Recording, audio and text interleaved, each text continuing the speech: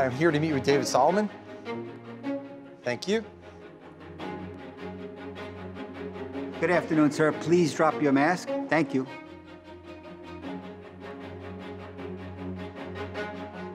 David, good morning. How are you? Good morning. I'm great. How are you doing today? Doing good. I know the interns are very excited to hear from you. Thanks for talking to us first. Mind if I ask you some questions about your day? Of course. Delighted to be here and looking forward to speaking with the interns. Excellent. Well, let's start at the beginning. What's one part of your morning routine that you can't skip?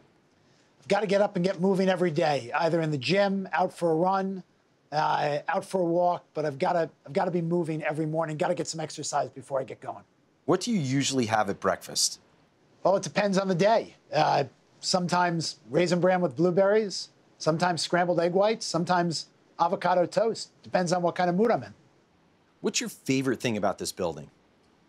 I love the Starbucks in the Sky Lobby. I love the Sky Lobby. When this building is full and bustling, the Sky Lobby is such a center of energy for the building.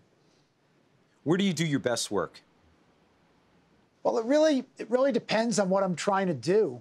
Uh, one of the things I think that's really important is that you have time to reflect and think about things, especially when you're making significant decisions. So whether I'm out for a walk or I'm on my bike or you know I'm by myself, when when I have time to really think and reflect, it tends to help me make better decisions. Here's a good one. If you can meet anyone in the world, who would it be and why? Well, I have an opportunity to meet an awful lot of people. I've sometimes thought about going and meeting someone who's no longer around. So I'd love to go back, for example, and have an opportunity to talk to Abraham Lincoln and talk to him about some of what he wrestled with 150 years ago. Good. Where do you have the most fun at work? I have the most fun when I'm with other people, whether it's with clients or it's with people at the firm interacting with people is what keeps every day different and unique and energizes me. This building is 43 floors. Where's the best view in this building? There is a great terrace on the 42nd floor that overlooks the city, and getting outside on that terrace is absolutely spectacular. What's the last book that you read? The Great Influenza by John Barry. Uh, it's a big book, but gives a great historical perspective on the global pandemic that occurred 100 years ago. Um, and just uh, just finished it the last couple of weeks. Do you have any side hustles? Uh, I've got a number of side hustles. You know, music, DJing, as you know, um, is uh, is a side hustle. I love to kite surf. I love to road bike. Um, I love to ski. I like to play tennis. I like to be active. So you know, always always doing something and always always trying to stay busy. What do you love most about DJing? It's a great way to express yourself, and everyone loves music. One of the things that's so interesting to me about music is the way it connects people across generations. And so, music is a great, great way to be in touch, be connected, and I really, when I'm doing it, I absolutely love it. Nice. If you could collaborate with any artist right now, who would it be? Um, there's a great singer-songwriter named Ryan Tedder, might be known to uh, to some of you. He was the lead singer for OneRepublic but he has produced, he's written and produced music for all sorts of interesting people, from Beyonce to Lady Gaga to Paul McCartney.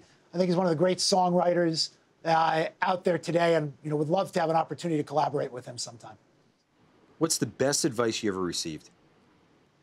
Years ago, right when I got out of school, my grandmother said to me, "Don't be in a hurry. Everything in life that matters takes time, takes patience, takes patience." Requires an investment. Don't be in a hurry. Enjoy the journey. Um, and it's been good advice for the last 40 years. Okay, just a few more. Excuse me, David. Five minutes till we're live. Okay, thank you. How would you describe a day in the life of David Solomon? Full, busy. I pack a lot into every day from 6 in the morning till 10 or 11 at night. Great. I'll follow you to the studio. Okay, thank you.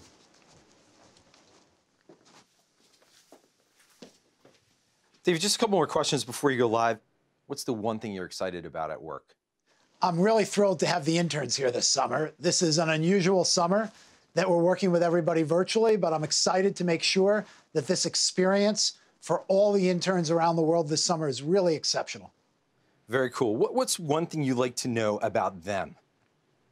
Well, I'd, I'd, I'd, like to understand what they want to get out of their summer here at Goldman Sachs. Make sure we can do everything we can in this unusual environment to make sure they're connected and they're having a great experience. So I'd love to hear from them what's what's important to them as they experience Goldman Sachs virtually this summer. That's great. I think we got to get you in the chair. You're about to go live.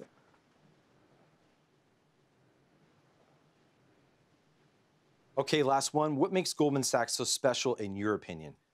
That's easy. It's the people, the amazing people of Goldman Sachs, 38,000 people spread around the world. That's what really makes Goldman Sachs so special and unique. David, thanks. This has been great. Really appreciate your time. Good luck with the show. Glad to spend time with you.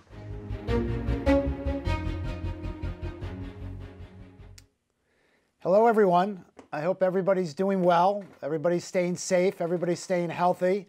It's so good to see so many faces from around the world. I've got a number of screens in front of me. It looks like a giant Hollywood Squares game. Uh, and I can see a number of you, not all of you. I understand there are about 1,200 of you on the, uh, on the phone at the moment or on the Zoom at the moment. Um, and I see about 40 or 50 of you here in front of me.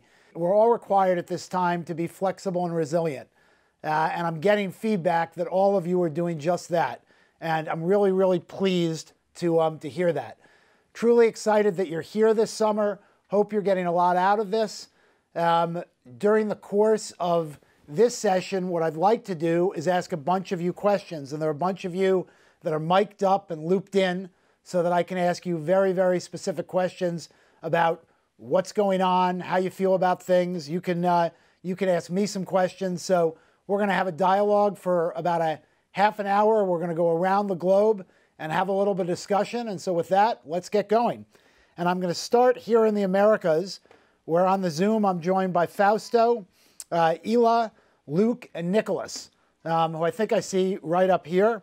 Uh, and um, I'm going to start with Fausto. And so, Fausto, what's the most valuable thing you've learned in your first week of training? Good morning, David. Thank you for having us and for the question. I think it was a combination of three things resilience, adaptability, and the strength of Goldman's commitment to its people. You know, despite the unprecedented circumstances, our first week was a seamless experience because of that one constant Goldman's people, all of whom exemplified those values. And we really felt that commitment before we even began, when Goldman honored our internships and helped our families by prorating our salary. Then from day one, we were immediately welcomed by a robust support network. And when senior leaders like Dan Dees and Pete Lyon shared their life stories with us, it made me realize that they all started in our shoes that you will face adversity throughout your career, and most importantly, that you can succeed through it with a culture of cooperative excellence. So that's great, and I appreciate that. And yes, Dan Dees did. Dan Dees and Pete Lyons started just like you guys did 30 years ago, um, and uh, and obviously they're two, uh, you know, super important members of uh, of the team. Um, Ela, what what has been your experience interacting with your mentors? Uh, and also, you know, your peers as you've uh, started your internship. Hey, good morning, David. Um, my experience with them has been really rewarding so far. Um, my buddy and I Zoom call frequently throughout the day. He's always there when I have a question. So we just touch base on my work and help me understand both the technical aspects and the bigger picture of my project.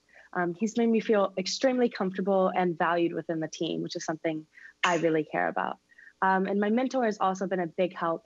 He's helped me to understand my team's place in the firm, and he's helped me to also network with colleagues with whom I have shared interests. Overall, I really feel that everyone on my team has acted as a mentor for me, and I'm really excited to keep learning from them and others I connect with throughout the firm.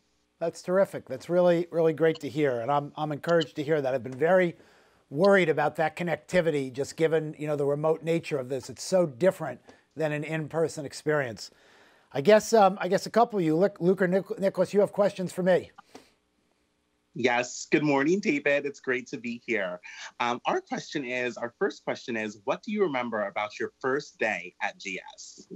Um, well, the honest answer is not a lot um, because it was uh, it was uh, it was 20, 20 years ago, uh, but it was it was actually um, it was 21 years ago. It was in September of 1999 and I was joining the firm as a partner. I had started my career other places, had worked at other firms, and in, uh, in September of 1999, I was recruited to the firm as a partner.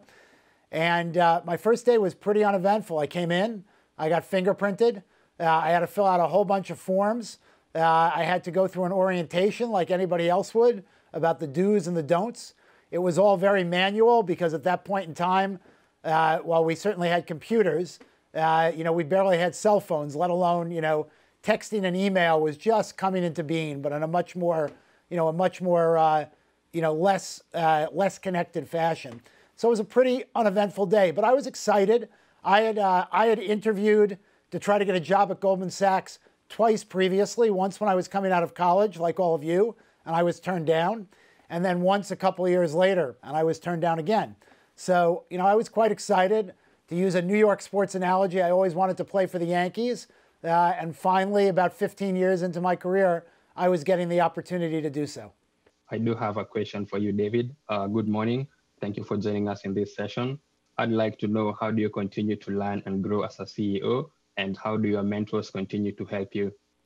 So I, I appreciate that, and I think one of the things that's that's really interesting that you'll all find in your career is, is you're constantly learning and growing, no matter what path you take. And so even today, I think one of the things I truly enjoy and appreciate about my job is how much I have the opportunity to learn.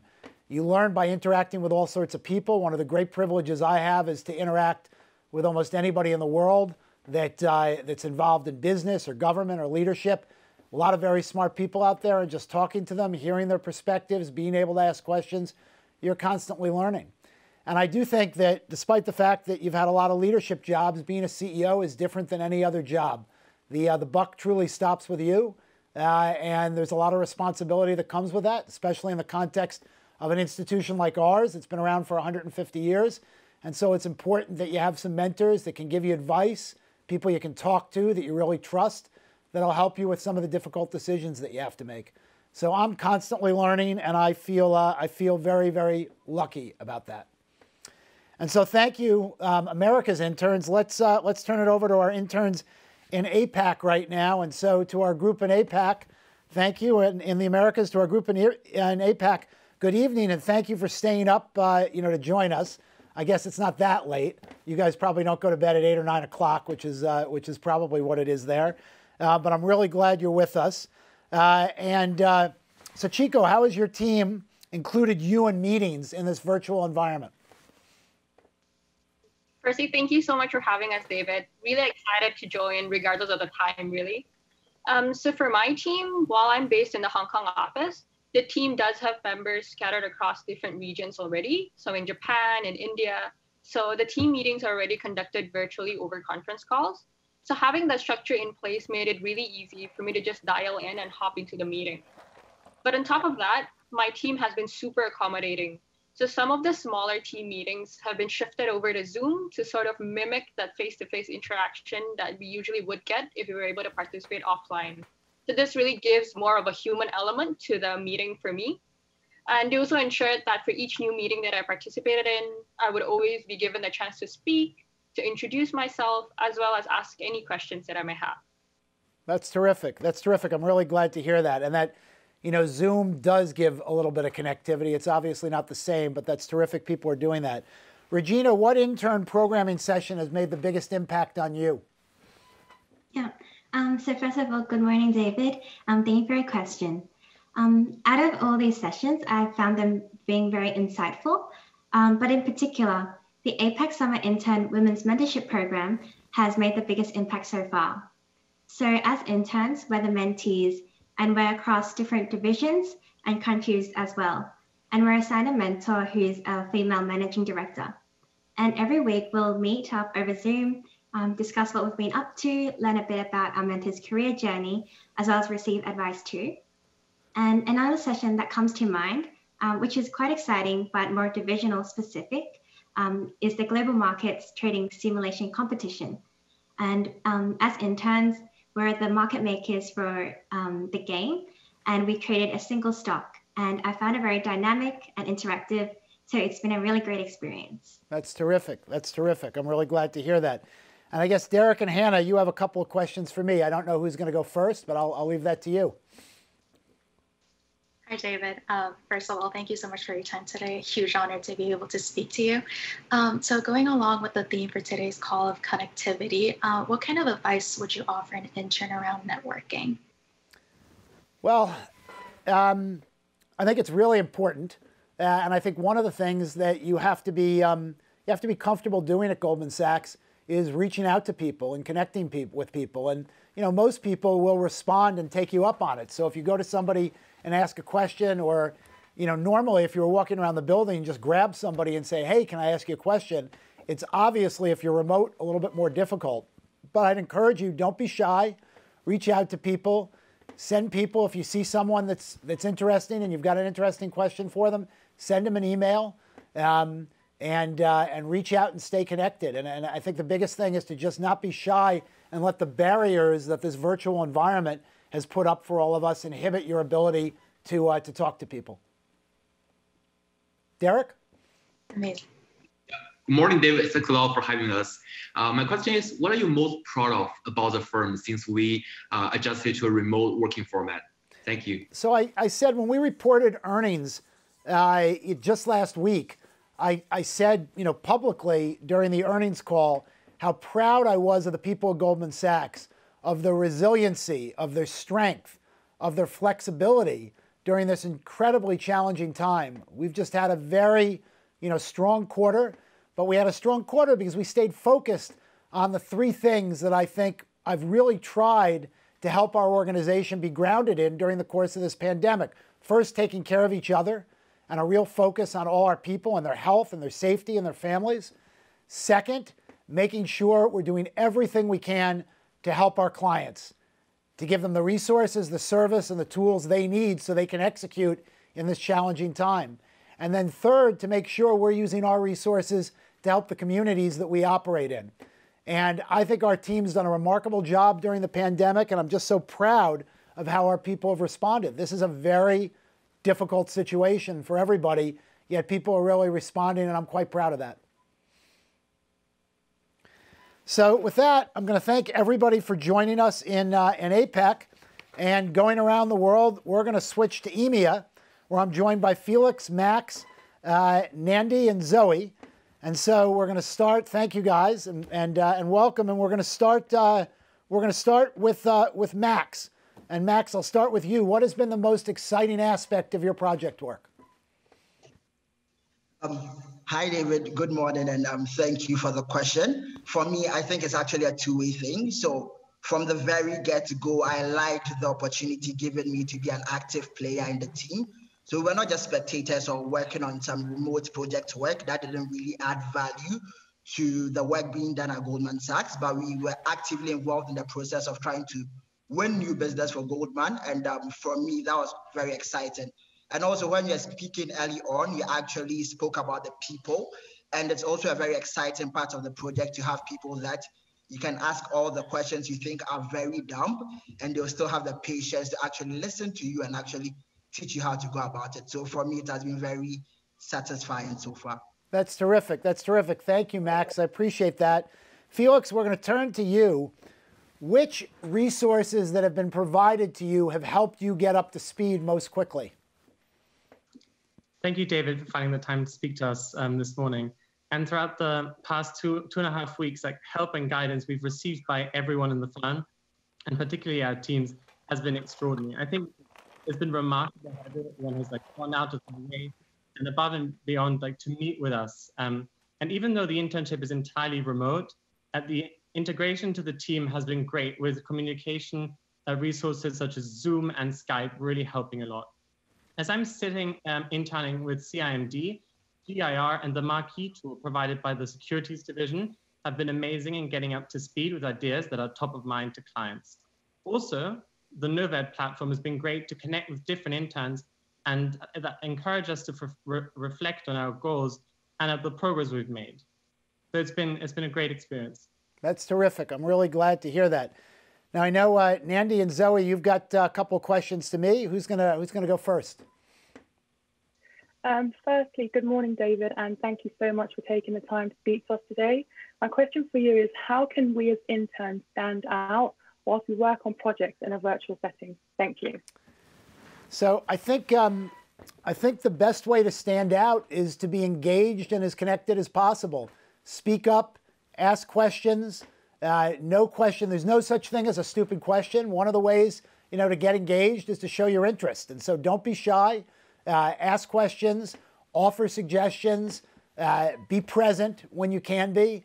I know that it's much more difficult to do that in this environment, but we all have to adapt and be as nimble as we can be.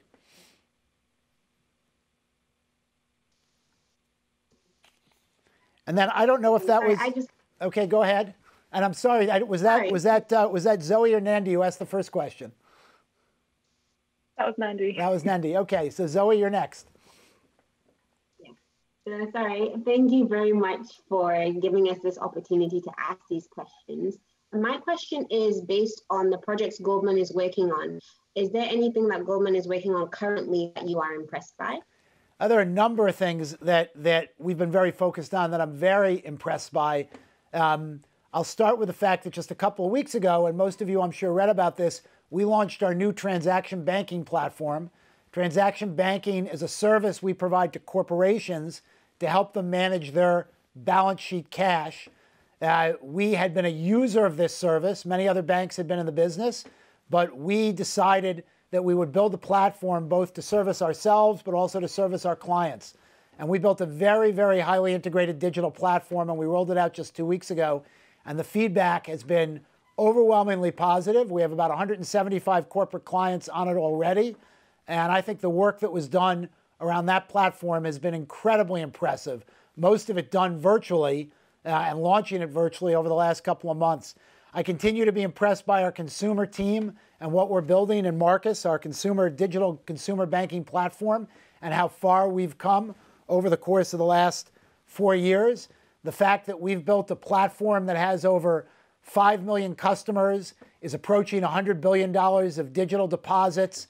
We have a credit card partnership with Apple um, that is the fastest growing new co branded credit card ever.